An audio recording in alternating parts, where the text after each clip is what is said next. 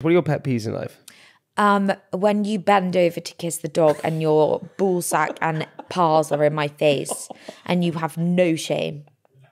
Oh, my biggest pet peeve about you is That's not about me. I meant in life. What is your biggest Oh, pet well, peeve? I'll just give a few about you because last night you you demonstrated three and I was highly shocked. What? New Nah. Year's resolution was Jamie mustn't fart in front of me. The pooing with the door open still is happening. You poo on the phone to our agent and she knows, and then you flush to Shane.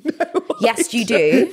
I heard her on the phone. She go, Jamie, please stop go- I calling went, me. I went to the bathroom to take a pee. Or whatever, it flushes. Shh. Yeah. It doesn't flush very well, let me tell you.